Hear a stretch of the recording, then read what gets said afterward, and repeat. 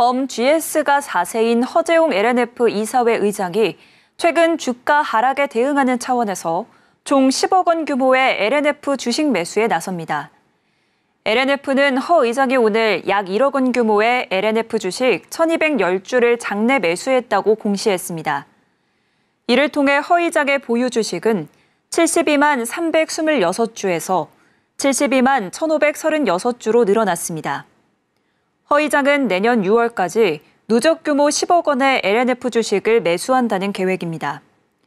LNF는 허 의장의 이번 자사주 매수 결정이 주가 하락에 대응하기 위한 조치라고 설명했습니다. 또 이번 자사주 매입으로 기업 가치와 주주 가치를 제고하며 책임 경영을 이어나갈 계획이라고 밝혔습니다.